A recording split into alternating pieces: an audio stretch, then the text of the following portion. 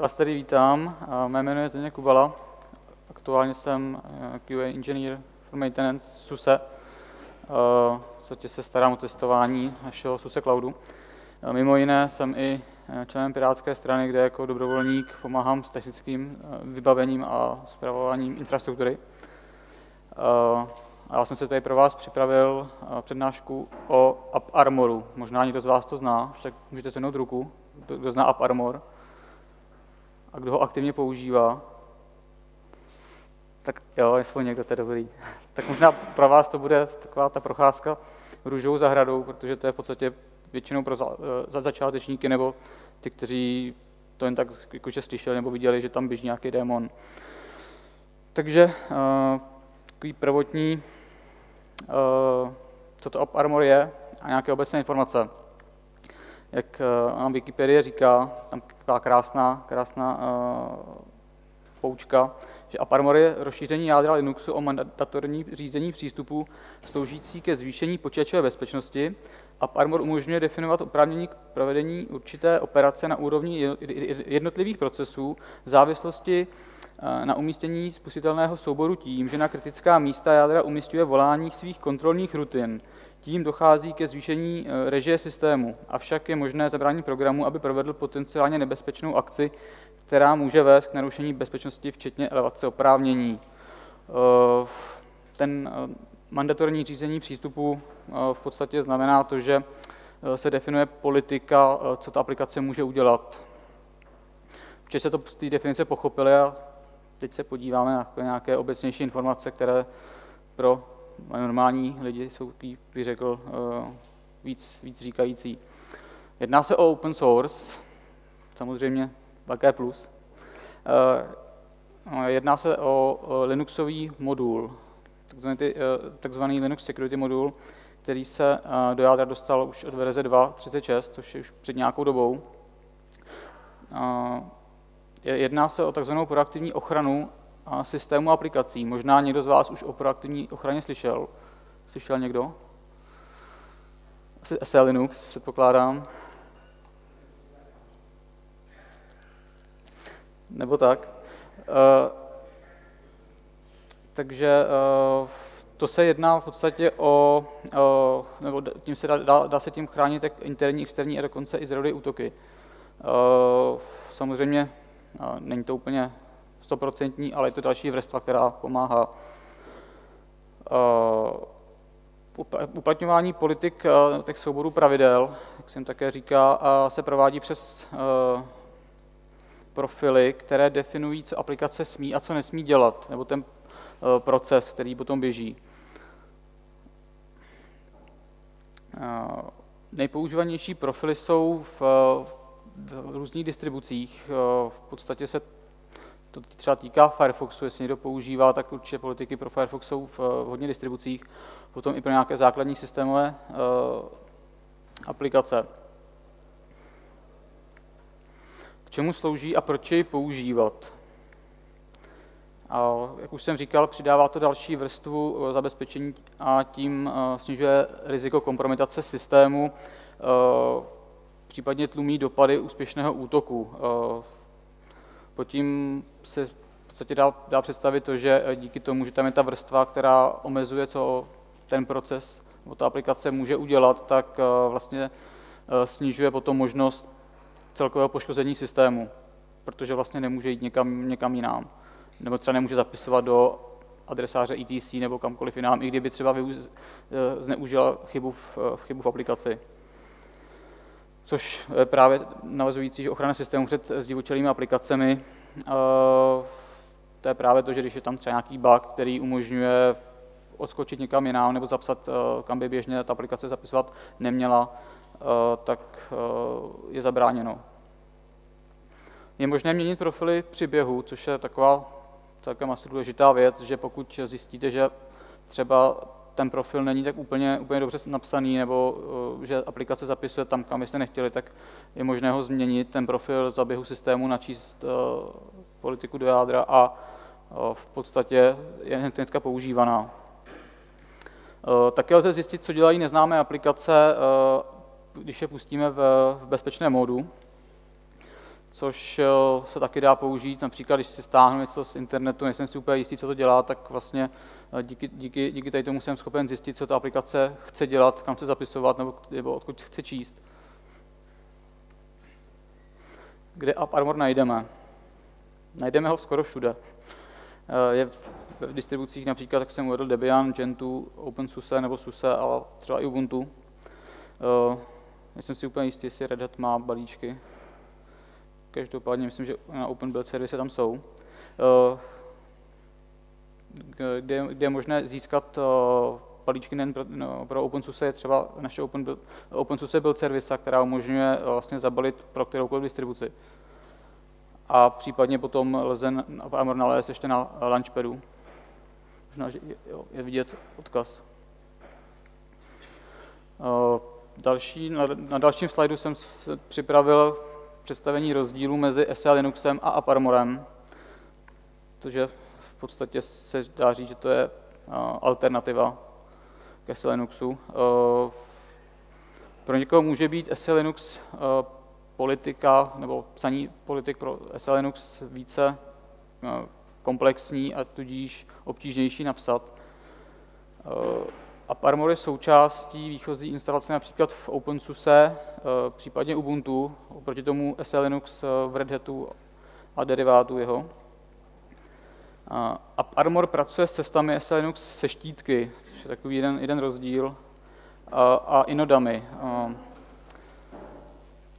Rozdíl mezi tímto lze například demonstrovat u takzvaných hardlingů, které, jak už jsem zmiňoval, že AppArmor pracuje s cestami, takže v případě chování hardlingu se jedná o cestu a AppArmor tomu přistupuje tak, že to je ta cesta, kdežto ten hardlink, nebo v Inodě jsou metadata o tom, o tom umístění a o tom souboru trochu jiná, takže to chování je potom rozdílné. Jo, a AppArmor ještě hledí, nebo z pohledu AppArmoru se jedná o profily jako na aplikace, kdežto SE Linux je tak víceméně jako celek, operační systém jako celek. Komponenty a nástroje AppArmoru. Tak je, jedná se o kernelový modul, který je zaveden do jádra při startování systému. Potom jakýsi parser, který v podstatě sám, sám ten parser vkládá profily těch aplikací do, do jádra, takže vlastně zavádí ty profily. A potom ovládací utilitky, bez kterých byste v podstatě nebyli schopni nějak ani ovládat ten AppArmor. Jak to funguje? AppArmor načte při startu modul a dostupné profily, které jsou většinou v ETC AppArmor D. Samozřejmě závisí na distribuci, může být cesta trochu jiná. Profily se rozstřídí dle módu, do kterého patří. Existují tři módy, a to je Disabled, Compliant, takzvaný Learning a Enforced, někdy uvedený jako Confined. V podstatě se jedná o to, že každý ten profil může mít v hlavičce uvedeno, pro který mód byl určen nebo byl napsán, takže dle toho je potom se dá zavést do jádra v tom svém správném módu. Případně je v adresáři například etc AppArmor D disable, který v podstatě říká, že to nebude vůbec, vůbec načteno, vůbec nebude používat. Implicitní politika AppArmor. To je takové trochu, trochu uh, uh, těžko vysvětlující, protože uh, ty základní jsou samozřejmě zakazující s whitelistem anebo povolující s blacklistem, ale je možné to kombinovat, takže to potom je takový mix vlastně obojího, protože lze vlastně zakázat všecko a potom povolit jenom to, co chci, což ale při nějaké, třeba při distribuci je celkem těžký úkol, protože tam jsou různé procesy, které se pouštějí. Takový ten běžný je spíš, že všechno je povoleno a zakážu jenom to, co si nejsem jistý, co dělá, anebo by mohlo nějakým způsobem ovlivnit systém. Právě třeba web browsery jsou krásným příkladem toho, tady toho, že podstatě člověk nebo kdokoliv, všichni pracují s web browserem a díky tomu jsme i schopni si stáhnout různé škodlivé kódy do, do počítače, takže tam je ta, to riziko celkem vysoké. Určení módu je například z hlavičky profilu, zde uvádím například z ColorD, zde si můžete všimnout, že tam je compliant, což znamená, že teda to běží v tom, v tom learning módu, což je, že všechno je v podstatě povoleno, ale logují se operace, které ten profil chtěl udělat, nebo ten, ten proces v tom profilu chtěl udělat. Což je potom dobré pro debugování, případně upravování toho profilu, že jste schopni vlastně vidět, co, co to chce dělat. Nebo jak jsem, už jsem zmiňoval, existuje adresář disable, který, když do toho ten profil umístíte, tak vlastně nebude spuštěn a nebude, ne, nebude použit. Jak AppArmor začít používat? Uh, jsem si vybral OpenSUSE.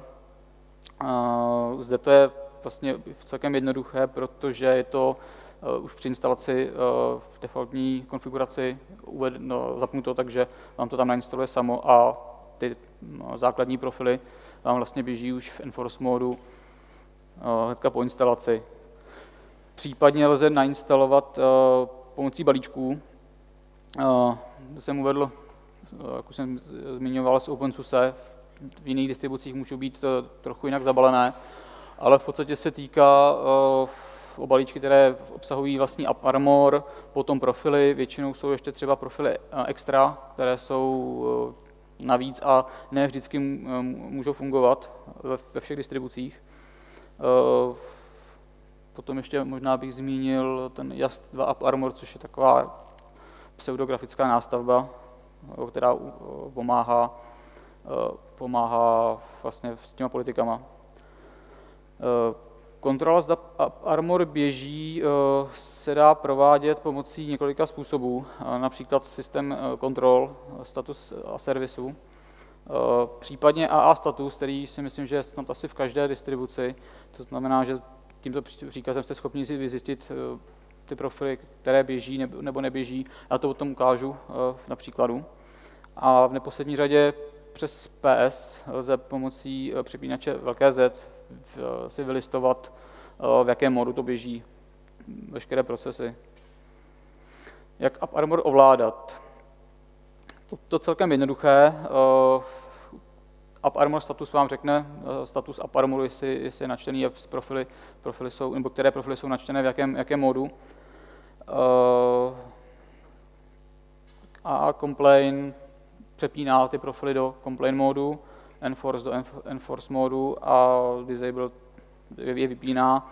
A Armor Parse, to je ten, co zavádí ty profily do, do jádra, potom Autodep a logprof. Ten logprof je zvláštní tím, že to úplně, úplně podle mě nevypadá, ale v podstatě je schopen vám updateovat ten profil na základě, že, že projde audit log a vyhledá tam informace, které se týkají toho profilu a pokusí se je tam do toho AppArmor profilu dostat. Většinou se teda jedná o ty, které jsou zakázané. Další, další věcí AppArmoru, které, které umí, je logování a které vám může pomoct, zejména při lazení. Jak už jsem zmiňoval, tak třeba v OpenSUSE je to warlog audit, audit log. V jiných distribucích to může být posláno někam jinam. Ve výchozím nebo výchozí logování je denied operací. U toho compliant modu to může být lehce matoucí, protože to jsou v podstatě denied operace, ale logují se jako, jakože access granted, protože je to v tom učícím se modu. Hmm, také je ještě možné vlastně si status jak uh, denied, allowed, uh, nebo, uh, nebo ještě případně další, další volání, jako je error, audit, i vkládat do těch profilů, takže vlastně si můžete nadefinovat vlastní profil, který vám bude i logovat něco, co třeba uh, ten standardní distribuční nedělá, pokud nějakého důvodu potřebujete přidat něco nebo něco odladit. Operace, které se logují, například mkdir, profile load, profile remove a profile replace, což je také důležité vědět, jestli se ten profil updateoval, pokud máte v, pokud to třeba změnili a potřebujete si zjistit, jestli ten profil už je aktuální, anebo z nějakého důvodu se nenačetl, nebo případně tam nějaká chyba, která tomu zabránila. Tak je první key bonus, uh, profil Armor politiky. Ještě taková jedna věc, co se týká třeba eh, té konvence vytváření profilů. Je to teda konvence, takže to není zavazující a v podstatě se může stát, že název těch profilů bude jiný, ale, ale konvence je, že vlastně nahrazujete lomená tečkou. Takže vlastně potom z toho názvu profilu je úplně jasný, že se jedná třeba tady v tom případě o Firefox, který je v user bin. A nemusíte to nějak progrepovávat a zjišťovat, co, co se vlastně skrývá v tom souboru. Eh, tady na tom příkladu eh, si můžete opět všimnout, je ta flag eh, complain, který říká, že to bude načteno jako complain, to znamená všechno povoleno, ale budu logovat to, co by bylo zakázáno.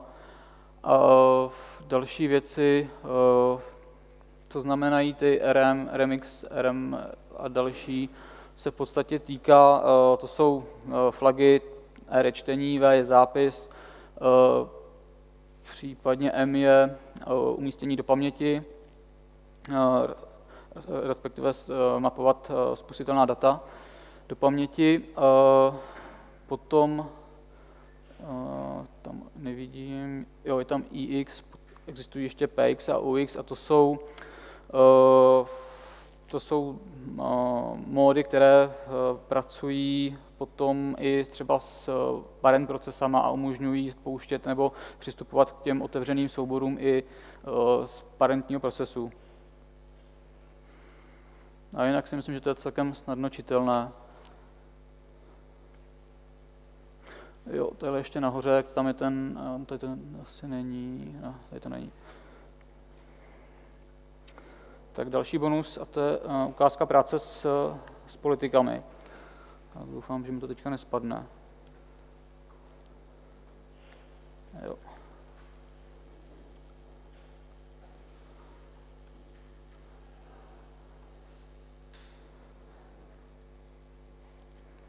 Tak první je přepnout uh, profil proces do modu complain.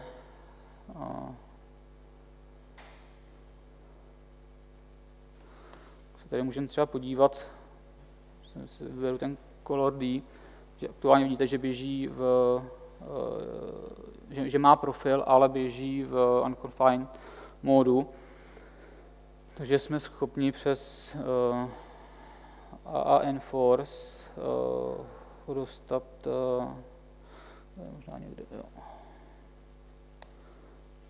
do enforce módu.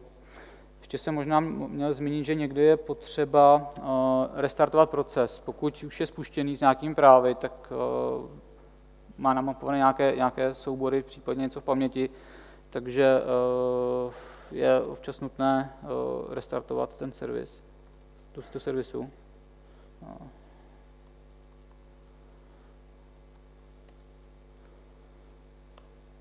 A teďka už ho vidíme. Tady let's vidíme, že běží v enforce modu. Další je přepnout, eh, nebo do complain, nebo eh, to samé potom platí i o complain modu, že v podstatě se dá eh, přepnout zpátky do, do jiného módu a tady vidíme, že už běží jako complain. Takže lze takhle bě, při běhu té aplikace i přehazovat profily. A další je zakázat, zakázat ten profil, což je v podstatě úplně to samé.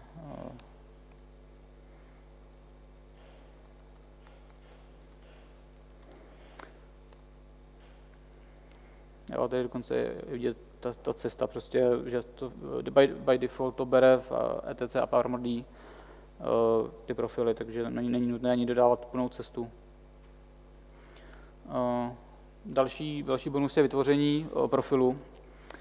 Eh, jak zde můžete vidět, vytvořím si jednoduchý programy, který se v podstatě pokusí jenom vypsat adresář, kde je, jaké tam jsou soubory a uh, zkusí si změnit práva a potom ještě vypsat něco s ETC. Takže pomocí aut, Autodep se, to je utilita, která vám pomůže vytvořit vlastně profil, takový ten, ten, tu prvotní kostru,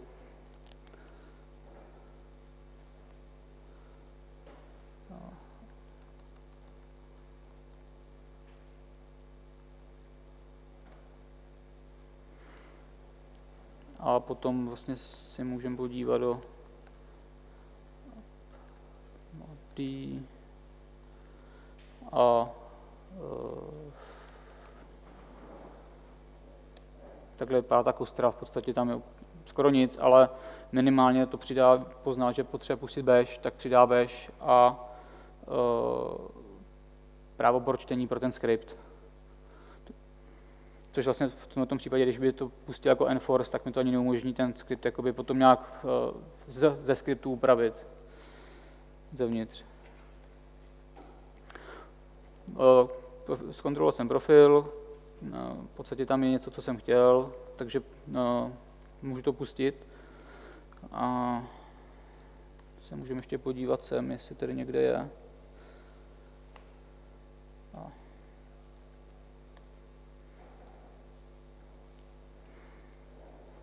Jo. Někdy tam je, ale měl by být, jo, je tady. Uh, takže běží v compliant módu, což se potom můžu podívat tady do logu a vlastně zjistit, když ho pustím, že mi v podstatě udělal to, co měl a dokonce si změnil práva. Uh, tady v logu se mi ukázalo, uh, co, co chtěl udělat, a mělo by někde.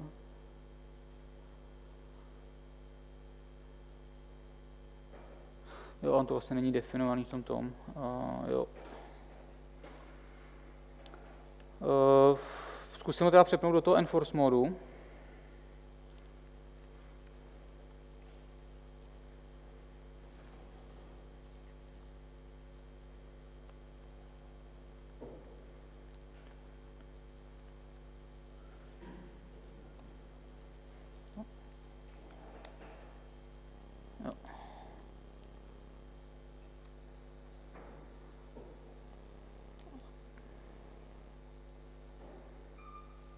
Teďka by se nám tady měl ukázat, kde si... Jo, tady nahoře. A schválně ho zkusím ještě pustit jednou.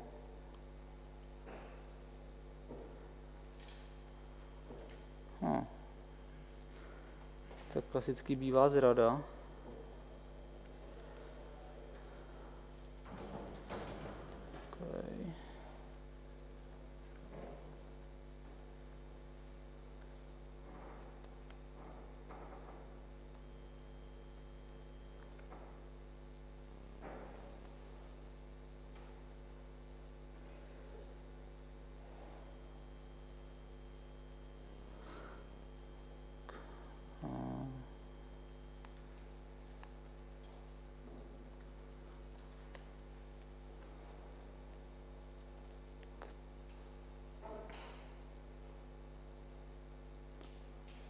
Tohle to by se stát nemělo. Hmm.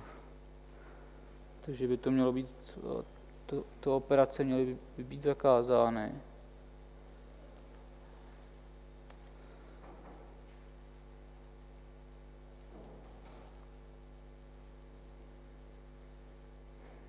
Hmm.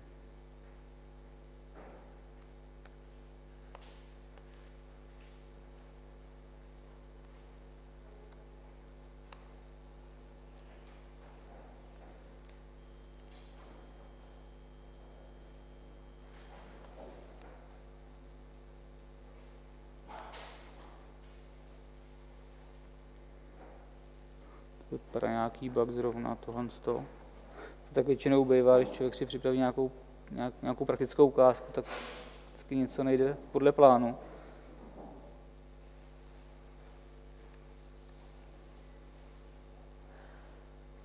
Každopádně to, co byste měli vidět by bylo to, že, vám, že to vlastně zakázalo udělat cokoliv uh, jiného, a to je právě například změnit, uh, změnit ty práva, protože to tam nemá povolené.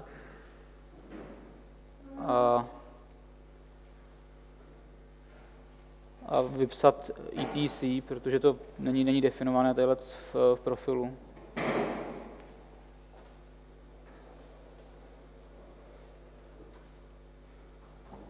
Což je ale zvláštní.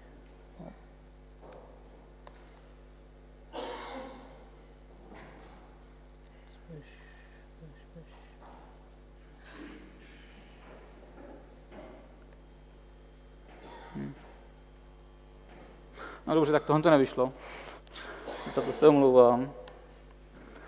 Uh, a ještě tak na závěr, co Aparmor nedělá a jaké jsou nevýhody. Uh, tak nevyvenčí za vás psa. Uh, nejedná se o 100% ochranu proti všem útokům.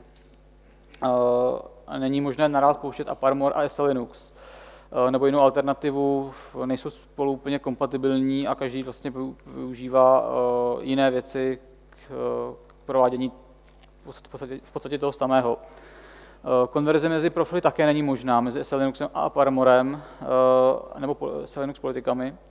Eh, neexistuje nějaké, řekněme, dobré grafické rozhraní, které by bylo schopné toto vám třeba pomoci, pomoci s definováním těch profilů.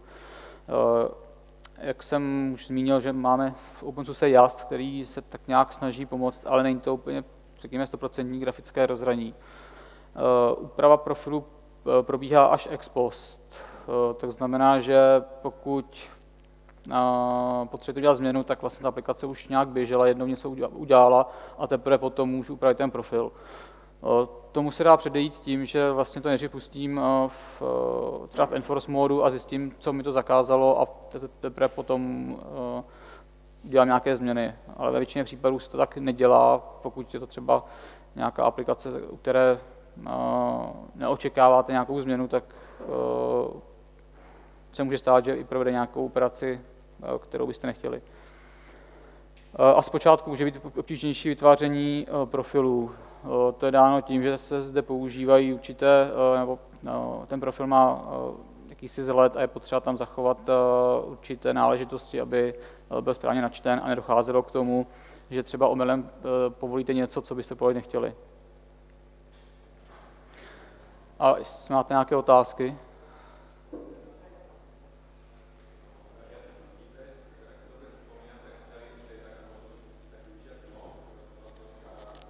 Ano. Eh, to je ten complain, learning to, jak jsem říkal, že tam existuje ten balíček uh, logprof, který v podstatě projde ten log a na základě toho vytvoří nebo se pokusí updateovat ten balíček nebo ten profil toho, toho, toho. Jo.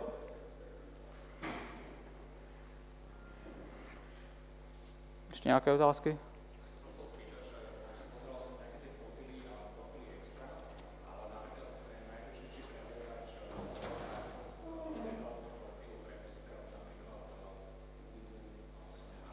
Ubuntu není, ani, ani v Extra, to je zvláštní. že se vzpomínám, že tam byl někde hozený.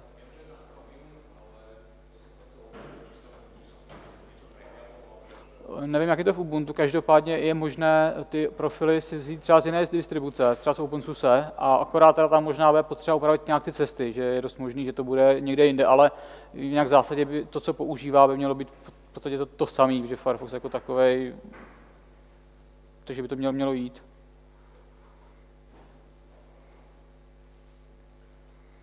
Ještě někdo? Tak já jenom tady, když byly dvě, dvě, dvě otázky, tak si zkuste vybrat, kdo, kdo, kdo co. Takže však se můžete potom přijít a vybrat si, kdo dřív přijde, ten si vybere. Jinak děkuji za pozornost.